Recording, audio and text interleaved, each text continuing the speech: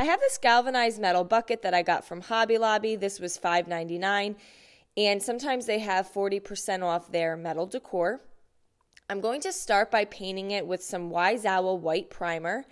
I'm applying the primer with a Jen foam brush, and the primer will just help my paint adhere to the metal better. I'm going to allow that to fully dry, and once that's dry, I'm then going to take some Wise Owl Snow Owl and cover the primer with the white paint. Now you could pick any color of your choice. I do recommend staying with a lighter color for this project. And sorry you cannot see me painting the bucket that well. I'm just going around the whole outside with the Wise Owl Snow Owl. You want everything to be fully dry. I got these really cute napkins from Marshalls. It says Hop Little Rabbit, Hop, Hop, Hop. And when you open it up, there are four sections. And I'm going to just take the top left section of the napkin and cut it off and remove all the layers. I'm going to apply some Wise Owl 1 Hour Enamel Clear. I'm also using a Jen Foam brush to apply that. And then I will lay the napkin down on my bucket. You can Press on the napkin lightly just to make sure it adheres to all of the one hour enamel clear before that dries. And then I'm going to take a piece of saran wrap, and this is when you can really rub over your napkin. The saran wrap just helps get out wrinkles and bubbling from the napkin and allows you to really rub your hand, or you can also use a brayer. And then once that is done, you're then going to immediately put on some Wise Owl one hour enamel clear. And you can remove any excess napkin. If it's wet enough, sometimes it peels nicely, or you just allow it to dry, and when it dries, you can sand it off. And then I went around the entire backside of the bucket with the one hour enamel clear as well, so that everything had a coat of the one hour enamel clear. Now, we do sell this in a sample size of four ounces on our website, chalkitupfancy.com.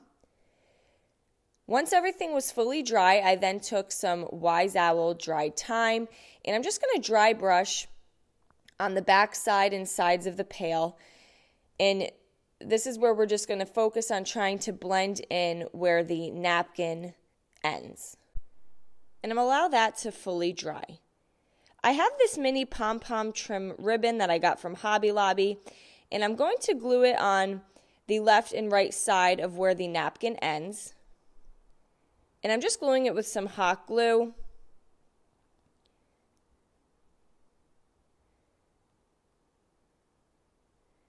And then I'll repeat the same thing on the right side of the napkin. And here we're kind of just trimming it out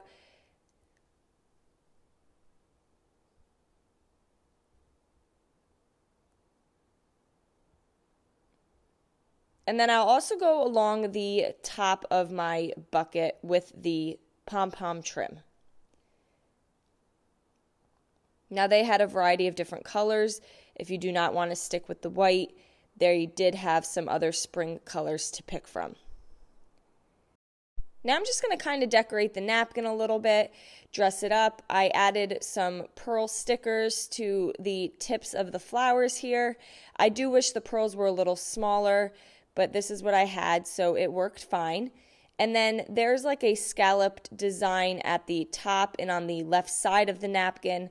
I'm just going to go around the top and add the pearls to the scalloped design.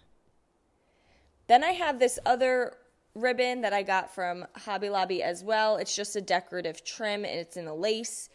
And I'm just going to go around the top of the bucket with the decorative trim. Now, this is one and a half inches wide, so it sits nicely.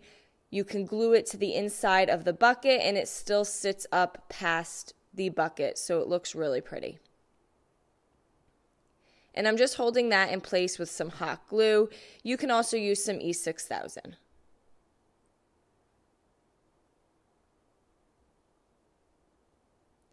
So this is what we have so far.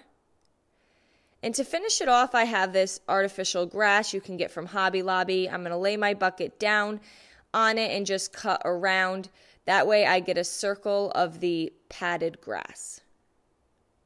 Now you could fill your bucket with whatever you'd like. I put a little tin on the inside so that the grass can sit on it, and I just want some of the grass peeking up through the top.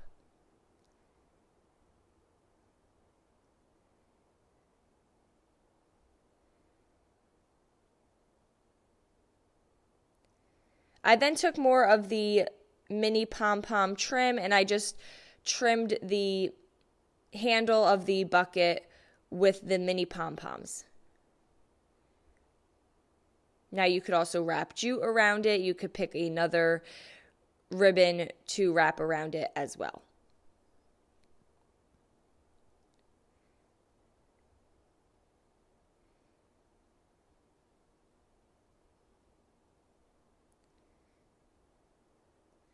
And to finish it off, I just had this ribbon from the Dollar Tree. It has little carrots on it, and I'm just going to tie a little bow on the right side.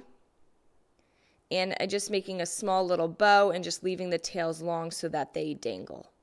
And there we go. Now we have this really cute Easter bucket that says hop little rabbit, hop, hop, hop.